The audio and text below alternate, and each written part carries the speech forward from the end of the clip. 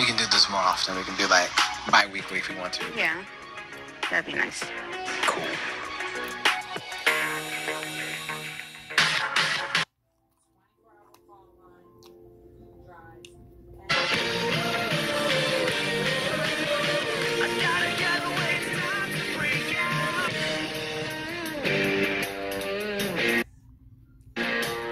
How behave on social media can have an enormous impact on any relationship. Making careless comments or unfair implications about your spouse is never okay, but doing it publicly is completely unacceptable. It's emotionally hurtful, and it also has the potential to damage their reputation. It crosses every line in the Successful Marriage Handbook. Hello? Hi, Taylor. It's Dr. Viviana. How are you?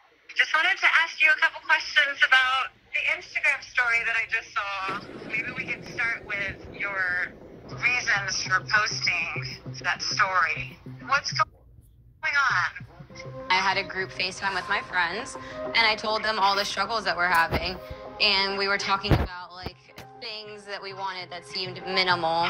Actually, I thought that the video was quite funny, so that's what I posted. I feel like I have the most minimum requirements to finding a man, and not a soul meets them.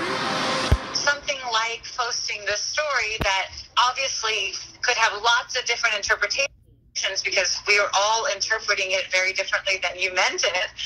Do you understand how it comes across like it is? Oh, I'm sure. But I mean, honestly, it wasn't meant to be taken as a literal video. And as I told a lot of my friends who are asking me, But because you and Brandon have been struggling, how, does this honor the fact that y'all were supposed to be starting fresh? oh, you know what? That's fine. Okay, so I did start fresh with Brandon, and I did give Brandon a very, like, a very fair second chance.